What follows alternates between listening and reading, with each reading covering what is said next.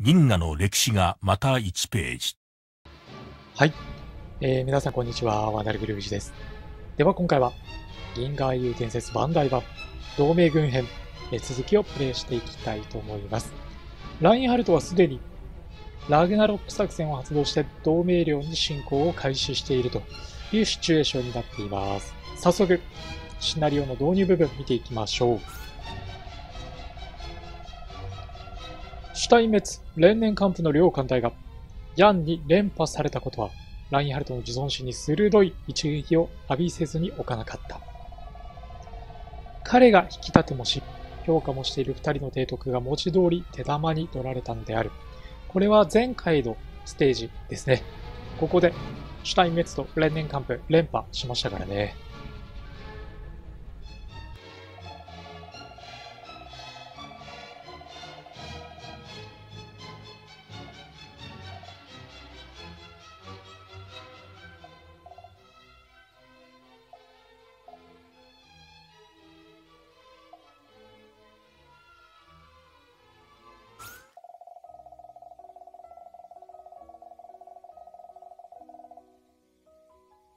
こちらはロイエンタール。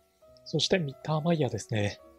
まあ、ヤンの狙いがロイエンタール、ミッターマイヤーにはね、まあ、カンパされていたという描写だと思います。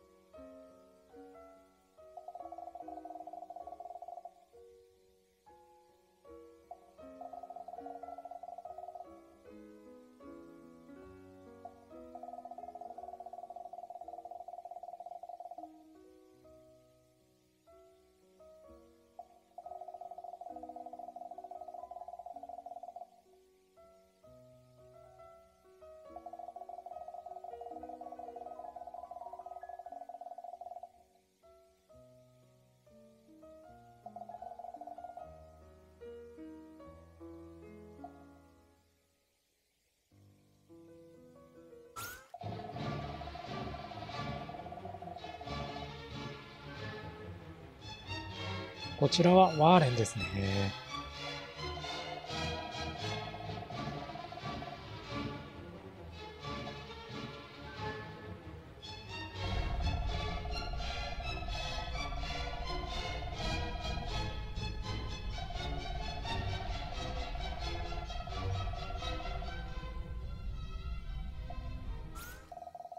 では、作戦です。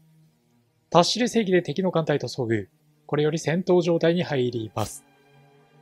続いて、勝利条件確認しましょう。帝国艦隊の撃破、戦果ポイント2番の獲得。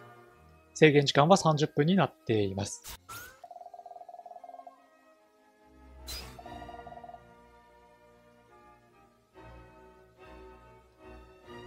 敵の艦隊の目的、目標は輸送艦。ただし、これは液体ヘリウムが満載されているとシェーンコップが言っていますね。二個艦隊を持って敵の迎撃に当たるということなので、艦隊の編成を行っていきたいと思います。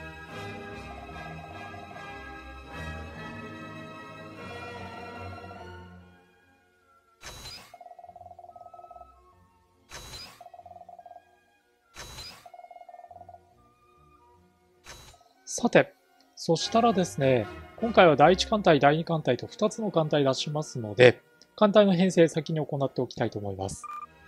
では、艦隊の編成を行いました。今回ミサイル艦が、えー、まあ、艦隊編成のストックに入っていないので、編成することができないんですが、それでもある程度艦隊に特徴を出したいので、メルカツのところはですね、えー、空母を配備してあります。メルカツは空戦得意ですからね。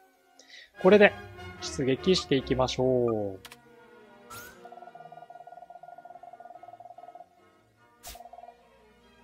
では、出撃です。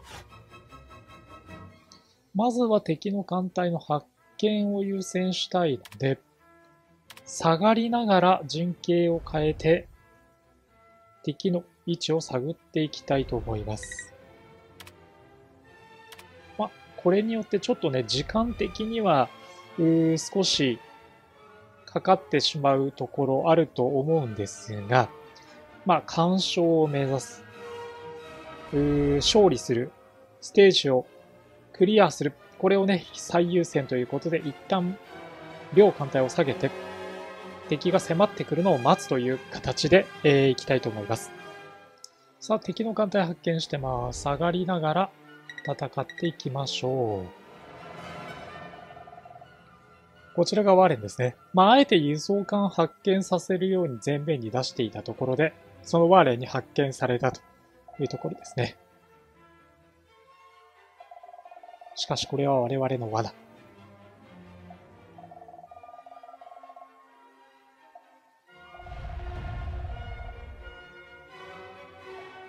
支援コップが言ってた通り、ヘリウムガスを満載している。まあ、それをね、えー、うまく使ったというところですね。まずは1回目ですが、ちょっと早い段階ですけども、えー、いいタイミングでミサイル撃てそうなので、ミサイル撃っていっちゃいます。ヤンの答えですね。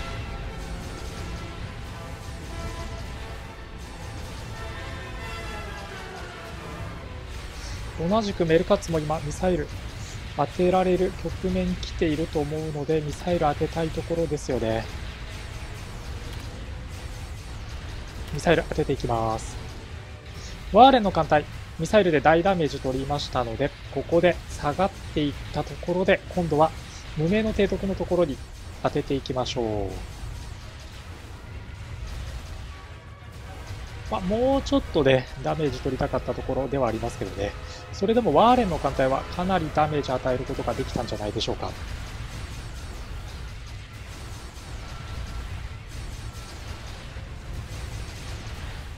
では今度はメルカッツのところからスパルタニアン出します。さっきはね、スパルタニア防衛に使いましたが、今回は攻撃に使っていきましょう。さあ、ワーレもミサイル強化使ってきましたね。ミサイル食らわないように、機動性を使いながら、動きながらっていうところ、心がけていきたいと思います。ワーレンの艦隊がちょっと敗走する様子があるので、これワーレンの艦隊追撃したいですよね。あとはミサイル、やっぱり確実に当てたいので、このタイミングで撃ちましょう。これでワーレンの艦隊壊滅させます。で、一方、ベルカッツも後ろからですね、ミサイル撃っていきましょう。ヤンの艦隊までちょっと今ミサイルの直撃受けてますからね。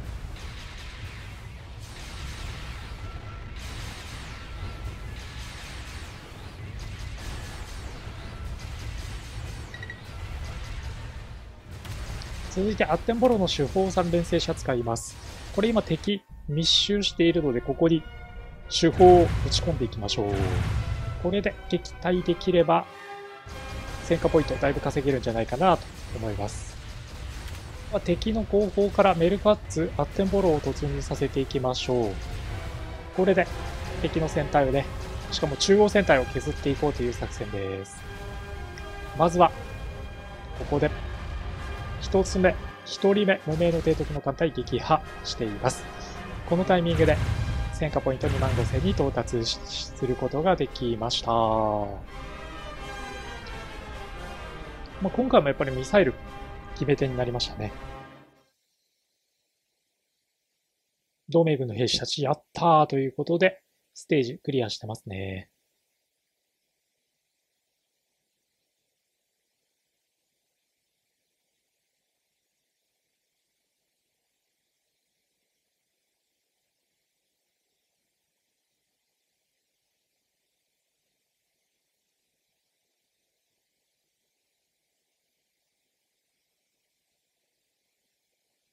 帝国軍の受けた打撃と衝撃は一段と深刻なものになった。かろうじて残兵をまとめて成果した我は若い帝国元帥の前に膝を折って敗戦の罪を射したが、ラインアールトは一言もう良いと。冷めた怒りを込めて言い捨てた切り石を蹴って部下たちの前から姿を消してしまった。